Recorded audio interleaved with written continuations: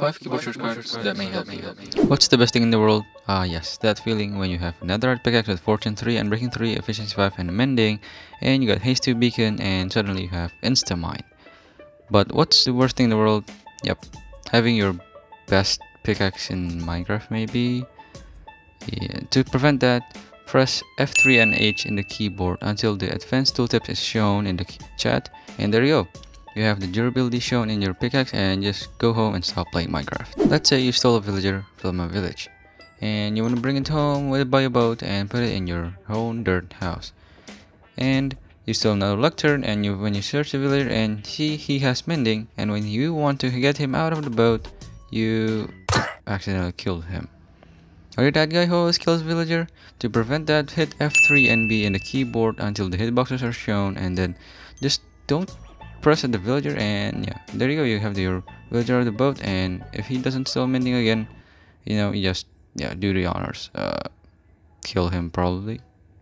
For this trick, it only works in creative, so let's say you have full chest of some items or some stuffs and you want to move it somewhere else.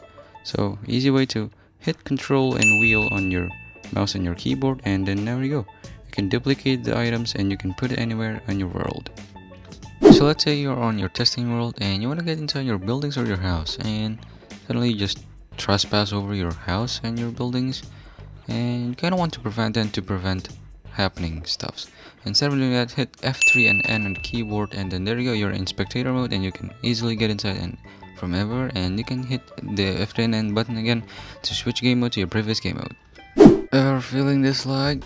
I'm sure you've had. To prevent this, actually just go to the settings, video settings, and yeah, turn max right to the unlimited, and then you there you go. You'll have unlimited FPS, and yeah, you will never feel any lag anymore.